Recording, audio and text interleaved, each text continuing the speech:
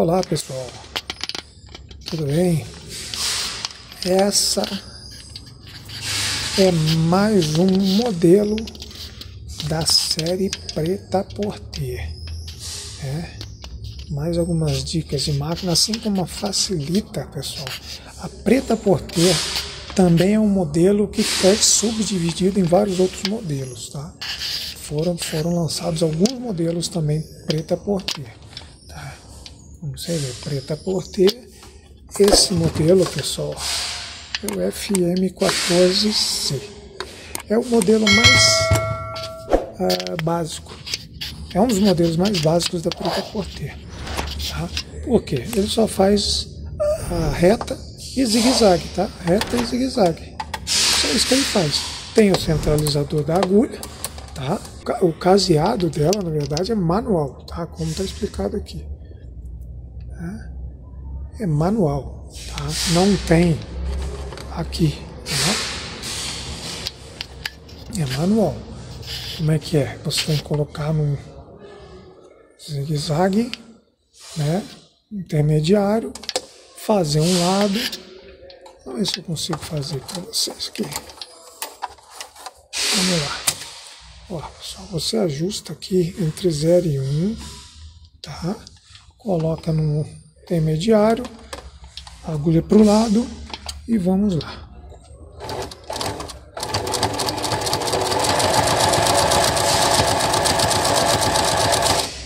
Acabou um lado, vai jogar no máximo, tá?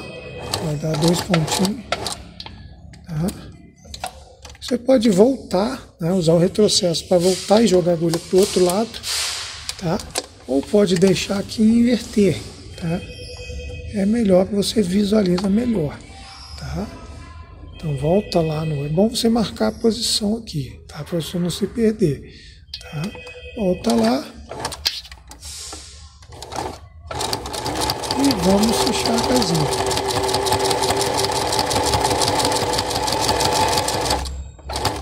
Acabou. Volta no máximo lá. Pronto, feita a casinha. Tá?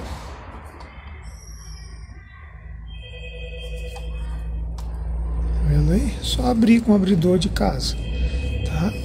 Ó, uma coisa que eu falei para vocês, ó, a casa manual com esse pé, ó, dificilmente você consegue fazer ela retinha, tá? Tá vendo?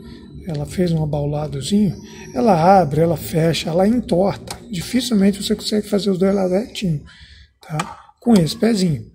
Para isso tem o pezinho que eu já citei antes, que é o pezinho para casa de botão.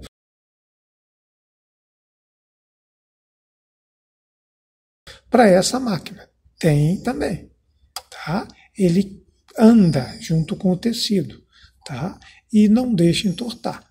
E aí você vai fazer um monte de casinha tudo igualzinho, tá? Não vai ficar, não vai entortar desse jeito aqui, tá?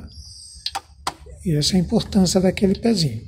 Pode fazer com esse? Pode, eu fiz. Mas, ó, claro, isso que depois de aberto lá e tal no lugar, hum, passa despercebido. Tá? Mas quer fazer, quer uma qualidade, quer fazer direitinho, procure aquele pezinho. Tá? Então, volta para a costura normal, entre 2,5 e 3, né? Agulha no meio, é, reta, né? Costura reta. E vamos costurar reta de boa. Saiu o fio. Eu já fiz aqui, reto, zigue-zague, belezinha. Tá? Então é isso aí, pessoal. Mais uma preta por ter. Vídeo rápido. Enchedor de bobina, né? Passagem do fio normal, tá? Desce, ó. Passagem aqui, pessoal. Muita gente se confunde aqui. Para encher bobina, encher bobina, você vai passar aqui, né? Dar uma volta e vai trazer aqui, vai encher bobina, tá? Travou para cá, apertou o botão aqui, Ó, apertou aqui, ó. Aí ele libera a máquina, tá? tá? Acabou de encher, destrava, destrava de volta, pronto. Ele gata a máquina de volta. Acabou de encher, soltou dali, passagem de fio, pessoal. Ó, ele é tudo encaixado, assim, assim. Aqui, pessoal, ele passa por baixo aqui por cima, tá? Dá direita para esquerda, tá? Ele não usa o pretensorzinho aqui, é só para encher o pino. Tá? Então, ele só apoia o fio. Desceu, girou, subiu, girou, desceu, enfia na agulha. Tá certo? Não tem erro. Praticamente igual em todas as máquinas. Tá? Então é isso aí, pessoal. Essa é mais uma preta porter. Tá? Máquina simples. Essa, essa carcaça dela é toda em plástico, em ABS. Tá? Mas é uma máquina bem resistente essa. Tá? Aguenta o tranco. Pode costurar de tudo com ela. Que é uma máquina que resiste. Tá certo? Então é isso aí, pessoal. Esse é o vídeo dessa máquina e até o próximo vídeo.